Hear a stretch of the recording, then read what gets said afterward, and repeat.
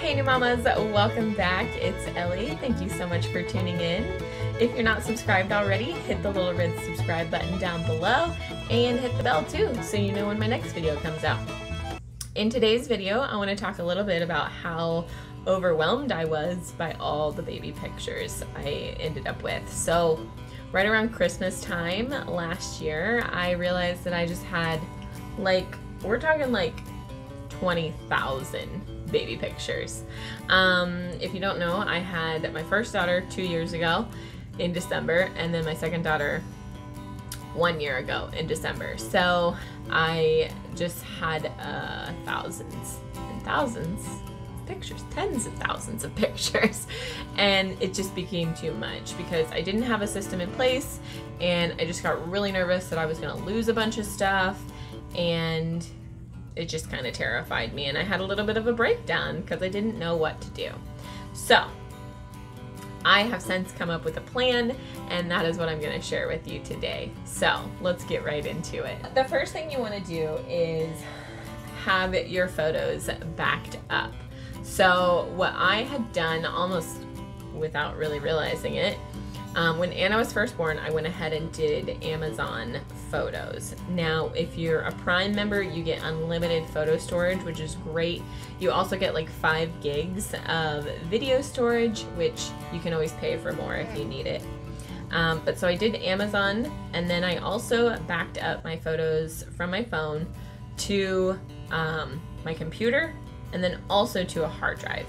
And then lastly, and I don't know why it took me so long to do this, I backed everything up to Google Photos. I love Google. I don't know why I didn't think that the photo app was going to be useful to me, but it just took me a really long time to get on board. But I've done that now and I'm really happy with it and I feel so much, so much relief uh, knowing that everything is continuously being backed up and that if my phone falls in the toilet, it's okay. So that would be my first recommendation is get everything backed up so that you don't have to worry about your phone being stolen or broken or whatever. Second thing you need to do is decide how you want to use your photos. Um, and there's like a bajillion ways you could do this. So four ways that I have found um, are as follows. Uh, my very my my very best friend, my very best friend told me that she actually got like a photo box and whenever she has pictures that she really likes, she prints them at like, you know, a photo kiosk at like CVS or Walmart. And she just puts them in the box. And then that way she can use them if she needs a photo or she can just pull them out and look at them. And I just thought that was a really nice way to like physically have the photos. It just it gave me comfort. Um, the idea of having the photos physically in my house. Now, on that same note, I also want to print some to like hang up on the walls. Actually, want to make them scrapbooks, so to just have those pictures on hand because you never know when you're gonna have time to work on that stuff. So if you just have the supplies ready, you can do it whenever you have the time. I don't know when, but soon. Uh, on top of scrapbooks, I still have their baby books that I want to do, and I want to put pictures in there.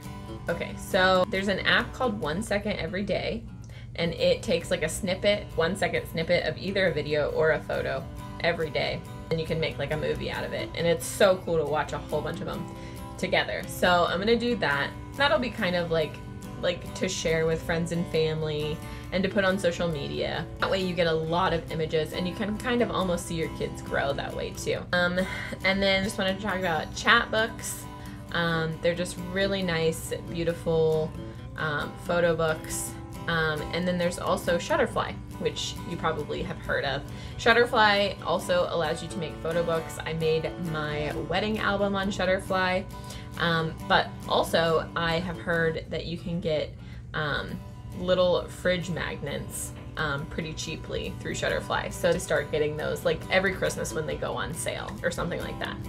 Um, so kind of my plan is to do um, a photo box and then second every day, Chatbooks, Shutterfly, Awesome. So once you have your plan in place for how you're going to um, store, backup, and then use your photos, your next step is going to be sorting through your photos.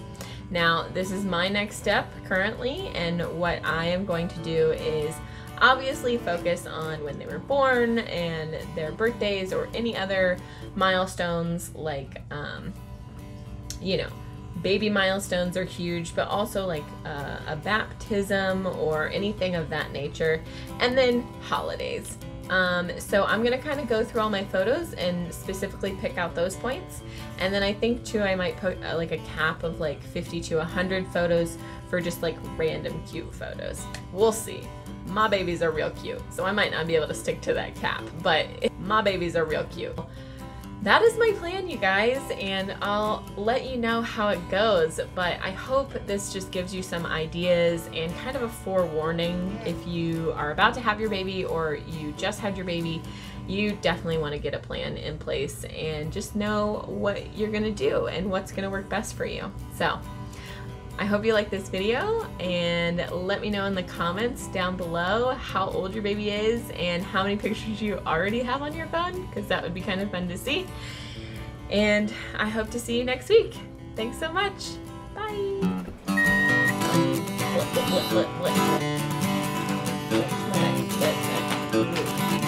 Okay. I should not have worn a sweatshirt. I'm real hot.